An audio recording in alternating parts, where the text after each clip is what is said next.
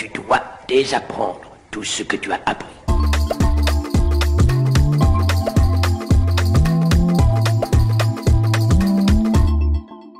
Bonjour les amis, alors aujourd'hui je vais répondre à une question. Fabrice me demande si la photo de mode joue un rôle dans les normes de la beauté. Eh bien je vais vous faire une réponse de Normande.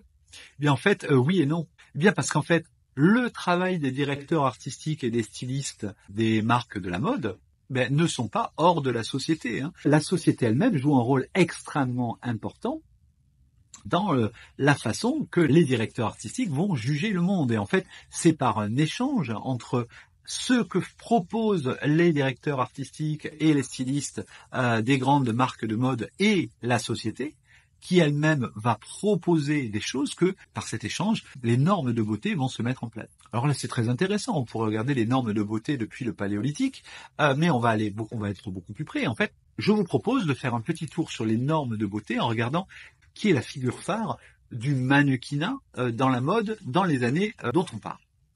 Eh bien, en fait, vous allez vous rendre compte que, ben, en fait, c'est pas la mode qui décide quel est le physique euh, qu'on attend, mais en fait c'est la société et c'est la société généralement liée ben, aux éléments économiques. Hein. Je vous avais expliqué dans une précédente vidéo que euh, si on trouvait les femmes grosses et à la peau très blanche belles pendant la Renaissance, comme on l'atteste un très grand nombre de peintures, c'est parce que euh, les femmes grosses eh étaient celles qui mangeaient à leur faim, donc plutôt les femmes riches, et les femmes à la peau blanche eh étaient celles qui ne travaillaient pas dans les champs, hein, parce que quand on travaille dans les champs, même si on se protège du soleil, on bronze.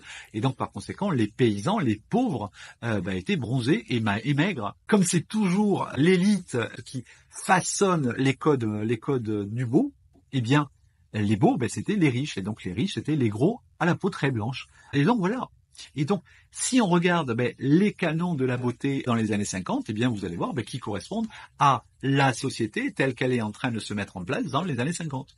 Alors, petit tour d'horizon. Donc, qui est le mannequin star euh, de la mode des années 50, enfin 45-50 Allez, vous avez deux secondes. On va voir si vous la trouvez. Ah, moi, j'adore cette femme. Eh bien, c'est Betty Page. Voilà, Betty Page, donc je vous montre des photos. Eh bien, Betty Page, vous regardez son physique, elle avait une poitrine généreuse, des hanches généreuses. Elle correspond typiquement à l'imagerie pin-up euh, que nous connaissons aujourd'hui des années 50. Euh, ensuite, ben, dans les années 60, eh bien le physique change complètement. Et donc, pourquoi? Parce que dans les années 60, vous avez les mouvements de résistance et de libération qui se mettent en place. Donc, le mouvement pour les droits civiques aux États-Unis, le mouvement de libération de la femme qui se met en place un peu partout, enfin, où les, les militantes commencent à apparaître partout. Vous avez des, des mouvements gays qui apparaissent partout, et surtout, ben, en fait, on rejette la représentation de la femme pour ce qu'elle était dans les années 50, hein, donc poitrine généreuse, etc. Et donc l'effet s'inverse complètement. Et donc l'icône de la mode des années 60, c'est qui? Eh bien c'est Twiggy. Voilà, donc je vous montre, euh, je vous montre une photo de Twiggy, donc euh, femme très mince, euh, coupe garçonne. Bah, par exemple, hein, si vous si vous intéressez ben voilà, aux, personnalités des années 60, eh bien en France, vous pensez à Jane Birkin. Hein. Jane Birkin avec une poitrine extrêmement peu développée, très maigre, etc eh bien, c'est l'imagerie de la femme, de la belle femme, la norme de la belle femme dans les années, fin des années 60, début des années 70, c'est Twiggy.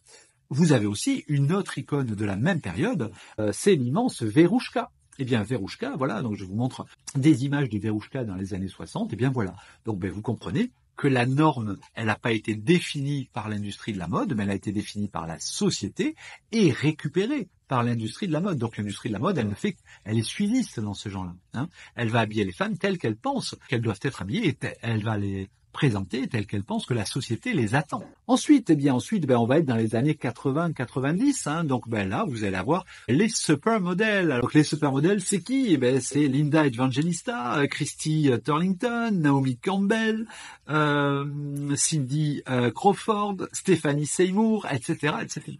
Ben voilà, là on revient, on revient à des corps beaucoup plus arrondis, ben parce qu'en fait, ben nous sommes dans le retour d'une certaine représentation de la femme, hein, avec les années Reagan aux États-Unis, les années Thatcher en Angleterre, les années Tapi en France. Ben en fait, voilà, donc on va y représenter la femme comme objet de désir, hein, alors que ben, le mouvement de libération dans les années 60-70, au contraire, avait ramené les femmes à autre chose les modèles qui plaisent au grand public et qui sont considérés comme les plus belles de leur temps, ben elles correspondent à une représentation des femmes à un moment donné par rapport à une réalité économique et politique. Et puis après, bon, je vais pas faire toutes les années, mais par exemple, actuellement, eh bien, vous avez par exemple Winnie Harlow. Alors Winnie Harlow, bah, vous la connaissez parce qu'elle a fait beaucoup de campagnes publicitaires, elle a été sur beaucoup de podiums et puis euh, elle est présente dans beaucoup de couvertures de magazines. Et eh bien, Winnie Harlow, elle est atteinte de vitiligo. Donc vous savez, c'est cette dépigmentation de la peau. C'est tout le courant que je vous ai expliqué dans d'autres vidéos en vous disant que ben, on cherche à montrer euh, des gens différents. Donc c'est tout le courant que, euh, dont on parlera bientôt. Euh, on parlera du courant des alien face. Alors les alien face, pareil, c'est un courant dans la photographie de mode et chez les mannequins.